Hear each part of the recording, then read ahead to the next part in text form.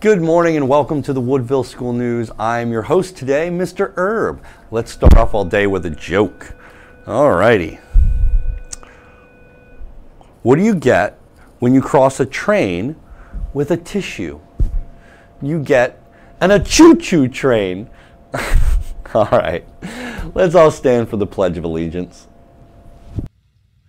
I pledge allegiance to the flag of the United States of America and to the republic for which it stands, one nation, under God, indivisible, with liberty and justice for all.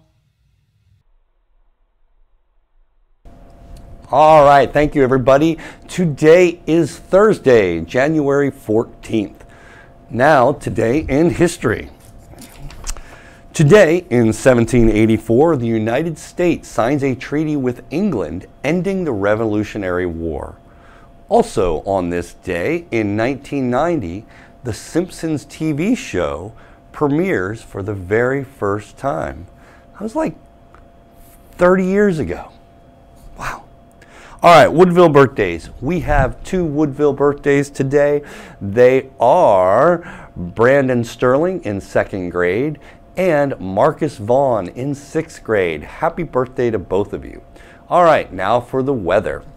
Today, we will see some clouds this morning, giving way to sunshine this afternoon, high of 62. Tomorrow, look for rain in the morning, but clouds will be clearing out and we'll have some partly cloudy skies in the afternoon, high of 61 degrees.